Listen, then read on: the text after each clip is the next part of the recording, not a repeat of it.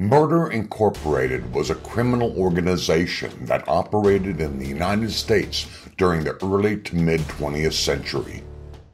The group was responsible for carrying out numerous contracts killing on behalf of the National Crime Syndicate, and its members became infamous for their ruthless efficiency and brutality. While the group has been disbanded, the legacy of Murder Incorporated lives on in popular culture and in the historical record.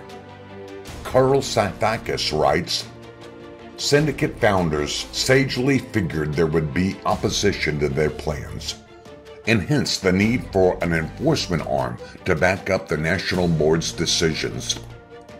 One of the most authoritative accounts of Murder Inc. was written by Burton Turkus a prosecutor who played a key role in bringing down the group. In his book written in 1950, Murder Inc., The Story of the Syndicate, Turkus provides a detailed account of the organization's origins, operations, and ultimate downfall. According to Turkus, Murder Incorporated began as a loose network of Jewish gangsters in New York City in the 1920s and was also known as the Boys from Brownsville.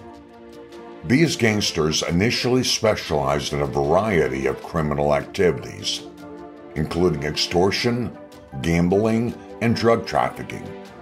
However, as the group grew in size and influence, its members began to focus more heavily on contract killings. The group's leadership was comprised of several key figures, including Louis Lepke Buchalter, Albert Anastasia, and Jacob Gurrah Shapiro. These men were known for their organizational skills and their ability to carry out hits with ruthless efficiency. They recruited a network of loyal foot soldiers who were willing to do whatever it took to eliminate their targets, no matter how high profile or well protected they might be. Some of the notable killers were Louis Lepke Buchalter, Benjamin Bugsy Siegel, Jacob Gurrah Shapiro, Albert Anastasia, Frank Abbandando, Louis Capone, Frankie Carbo, Abe Kid Twist Reles, and Pittsburgh Phil Harry Strauss. By the way, there is a whole episode featuring Harry Strauss on this channel. He was also known as Pittsburgh Phil. The brilliance or depravity of the ensemble was that the killers usually had no connection to the victim, or most of the time, even the town. If somebody in Jersey City needed to be whacked, they would call an affiliate in Chicago. That way, there would seem to be no motive. One of the most notorious killings carried out by Murder Incorporated was the murder of Dutch Schultz, a syndicate member. He was a powerful bootlegger and gangster who would become a thorn in the side of the flesh of the combination. In 1935, on orders from Anastasia, a team of hitmen gunned down Schultz in a Newark restaurant, putting an end to his plan to knock off prosecutor Thomas E. Dewey. Another infamous hit carried out by Murder Incorporated was the murder of Irving Penn, a garment industry executive who had refused to pay protection money. Penn was shot to death in his office in 1932, sending shockwaves throughout the city. But probably Murder Incorporated's most famous murder was that of Walter Sage. What made this murder so special was the body was found, and the killers didn't want the body found. They had tied it to a pinball machine and threw it in a lake citing Jay Robert Nash. The body filled with intestinal gases and worked free of the pinball machine, floating to the surface. Abe Kid Twist Reles opined, Think of that. With this bum, you gotta be a doctor or he floats. While Murder Incorporated was incredibly successful in carrying out hits for the syndicate, their success ultimately proved to be their downfall. In the late 1930s, federal authorities began to crack down on organized crime, and a special task force was created to investigate the activities of Murder Incorporated. Burton Turkus was appointed as the lead prosecutor in the case, and he was able to secure a number of key convictions against the group's leaders and members. Jay Robert Nash notes that while Murder Incorporated was certainly not the first organization to carry out contract killings in the United States, they were by far the most successful and well organized. The group's ability to carry out hits with surgical precision made them a valuable asset to the syndicate, and they were able to operate with relative impunity for years. As already noted, Nash writes that the group's success ultimately led to its demise.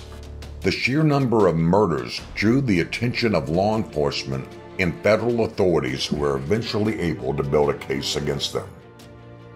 Additionally, the rise of the FBI and other law enforcement agencies made it more difficult for organized crime groups like Murder Incorporated to operate with impunity.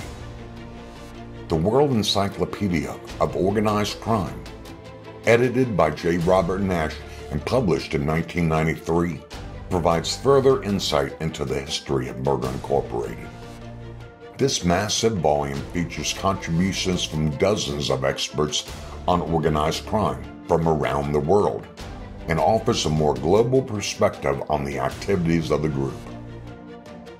One interesting aspect of Murder Incorporated, highlighted in this encyclopedia, is their use of female assassins. While the group was predominantly made up of male gangsters, they did employ several women who were skilled at carrying out hits. One of the most notable female members of the group was Edie the Bug Millie, who was known for her ability to get close, very close, to her targets before killing them. The encyclopedia also notes that Murder Incorporated was not only active in New York City, but had branches operating in other major cities throughout the United States, including Chicago and Detroit. According to the Mob Museum, one of their assassins, Abe Kid Twist Reles, at the request of mob boss Louis Lepke Buchalter and Albert Anastasia, killed at least 11 people and perhaps up to 30. But alas, their downfall began, and Abe Kid Twist Reles was only too happy to contribute to their demise. Later, Reles turned canary and started singing. In fact, he became known as the Canary of Murder Incorporated.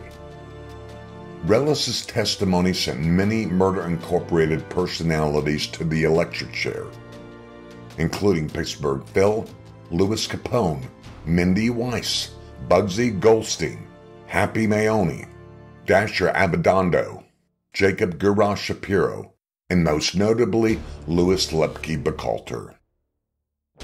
The date was November 12, 1941. Reles was guarded at the Half Moon Hotel in Coney Island by police, but eventually jumped out of his window or his throne. Either way, the canary was unable to fly. Despite the fact that Murder Incorporated operated decades ago, its legacy can still be felt in popular culture today. The group has been the subject of countless books, movies, and TV shows, and their ruthless efficiency and brutality continue to fascinate audiences around the world. While the activities of Murder Incorporated were undeniably heinous, they remain a significant part of American criminal history. A few years after Abe Reles's death, Murder Incorporated was an ugly distant memory, and many were glad to see it go.